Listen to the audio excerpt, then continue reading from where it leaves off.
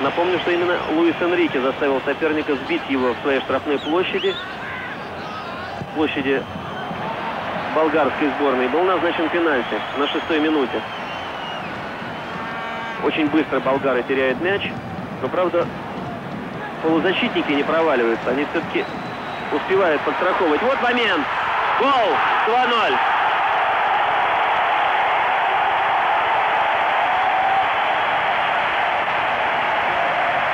Луис Энрике делает счет 2-0 в матче Испания-Болгария. Вот вы видите, как радуются испанские болельщики. Наверное, тысяч 15 присутствует их на сегодняшнем матче. Королева радуется, ну а король так улыбается. Достаточно снисходительно, но, безусловно, он доволен своими подданными. И как уж довольны в Испании, это не передать словами. Потому что если бы испанские болельщики если бы чемпионат мира потерял испанскую команду, то, наверное, процентов, может быть, 15 болельщиков тоже бы потерял чемпионат мира, потому что в Испании болеет вся страна, от мала до велика. Это не просто слова, это действительно так. Смотрим замедленный повтор опасного момента.